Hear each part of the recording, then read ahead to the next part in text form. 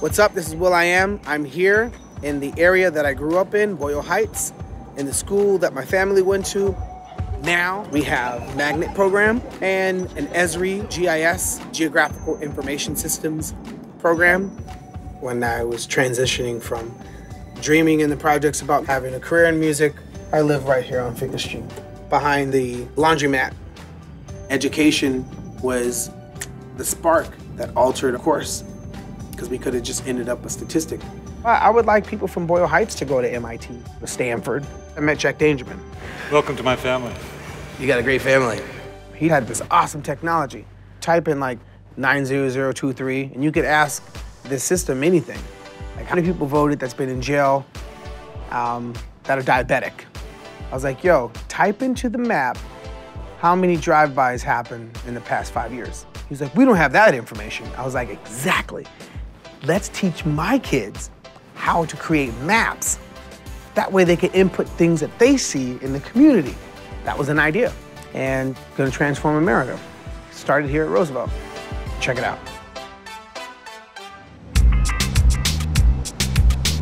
Geography is, for me, one of the most important social sciences there is. Without geography, we don't understand who we, who we are or where we come from.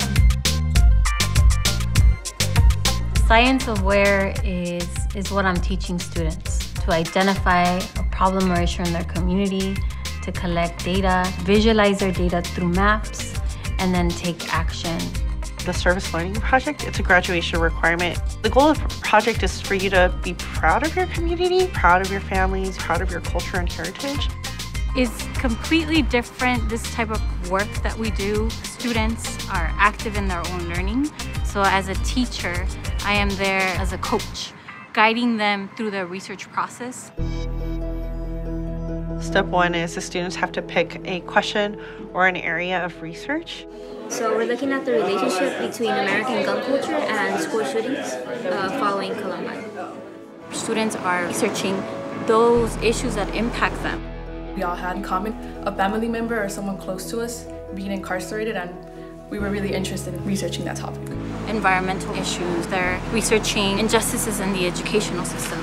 So we decided to settle on the 1968 walkouts because it happens in our community. It's focusing on education back then and how that impacts our education now. And then the next step is actually research design. What are the data pieces that will begin to answer their question?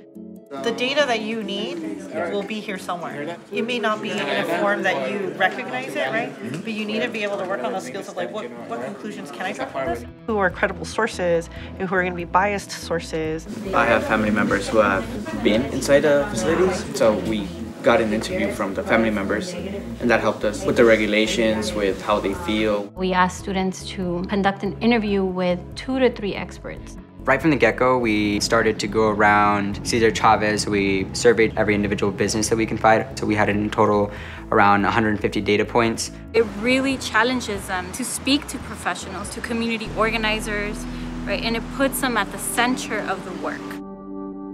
After they collect the data is the mapping part. That's really challenging because it actually requires a lot of quantitative data and how to visualize it and how to actually get it to tell a story. Like putting different components on one map, it can really show like a relation between things that you wouldn't like, think of connecting. Like I wouldn't have thought of connecting population to school shootings. It's making learning that much more exciting. We're adding student stories to a map. We're adding our lives to a map. Could even be emotional for, for some people when they see themselves in a map. Yeah, crimes happen, but when mapped, like it's like a whole different interpretation. Like you see it and you're like, wow, like I would have never thought this and that about my community. So I, I, I thought mapping was really changed the game for us.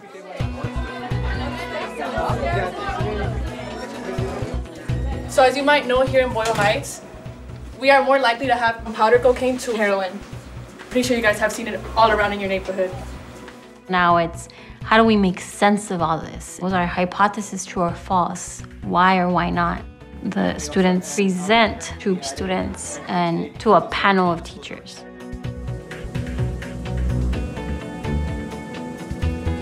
At the end of the year, the kids culminate with a trip to Esri where they present their findings to the company of GIS professionals. As an English teacher, you're teaching students the basics of argument.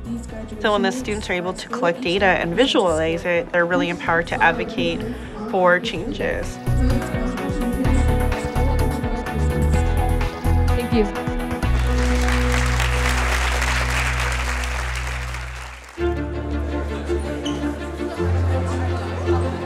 Show the series of maps to people in government offices. We began to use that hashtag Maptivist. What our team is doing is creating some sort of merchants association. We just want the community to be better and hopefully implement a business improvement district by the end of this summer. At the end of the day, you're right.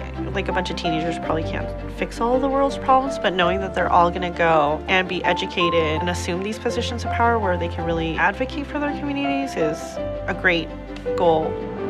I would advocate for teachers to engage in really thoughtful and meaningful education, and that's what I think our project is about.